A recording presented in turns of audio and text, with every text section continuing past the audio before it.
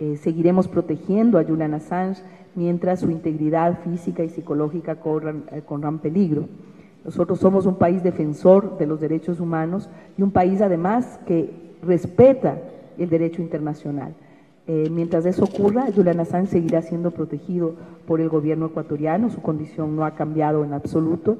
Lo que sí es que tenemos un enorme interés de lograr eh, una solución definitiva para el caso Assange. Y para que eso ocurra, estamos en permanente diálogo con el gobierno del Reino Unido. Eh, tenemos permanentes conversaciones y estamos explorando varias opciones para ver, encontrar una salida a esta situación. Estamos considerando también y explorando la posibilidad de una mediación.